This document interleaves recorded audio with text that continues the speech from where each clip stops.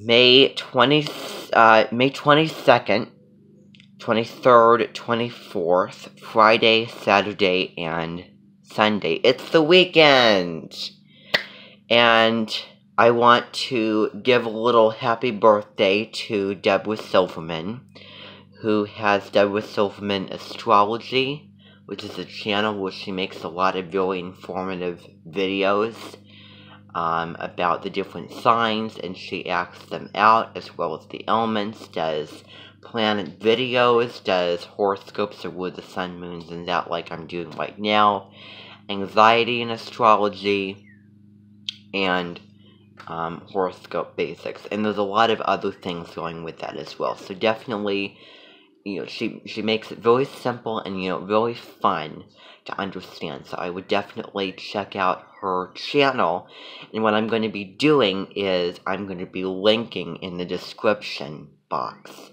I'm going to be linking her channel. That way you can go and, you know, watch her videos. Um, and see why she is, you know, a Gemini herself. But so anyway, May 22nd, 23rd, and 24th. So the sun and the moon are in Gemini. It's double mutable, double air, double Gemini. People born under both sun and moon are born under a dark sky and it's more of an introvert. You know, it's you know, it's more it's not like you think. It's more of an introverted I'm you know, going in and I wonder if Idina Menzel has this. She was born on the 30th of May. But so anyway, the sun and the moon are in Gemini. So we've already talked about the sun being in Gemini and the moon being in Gemini. So this is the best time to write, to read, to speak, to teach, to watch movies and skits, and um, you know, to really have a conversation and get to know people. Although there is some exceptions to that because of the you know what.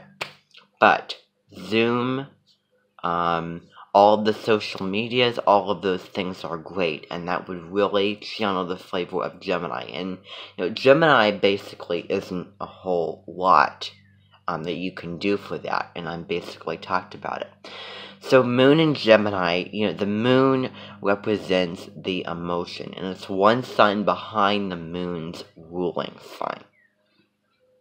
So, um, with the moon being in Gemini, which is emotions, your emotions, um, you can really, you know, express your emotions.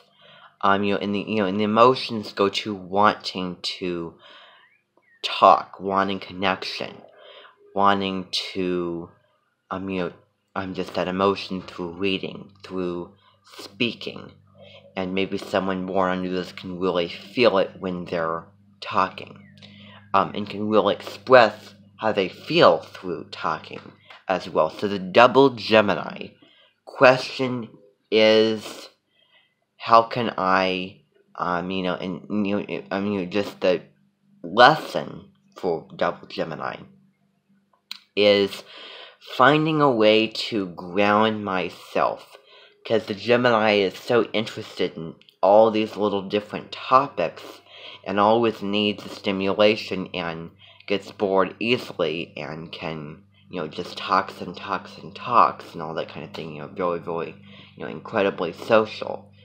Allowing the Gemini to slow down, create a structure and routine and sameness, and how to find something and, you know, stick to it and like it, which is through Taurus. So Taurus and Gemini um, can get along very, very well in relationship, not because they're so similar, but because they're very, very different, and each of them has something that the other lacks, and so the Taurus can do to the Gemini, you know, what the Gemini can do to the Taurus. You know, the Gemini can, you know, you know, get us out of routine, and the Gemini can, um, you know, allow it to change itself and allowing it to explore and try new things and talking more and putting on more of the fun factor, and Taurus, you know, I already told you before, grounding the Gemini and stabilizing it.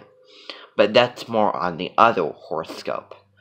Now, the next video is a very, very emotionally, talkatively expressive combination.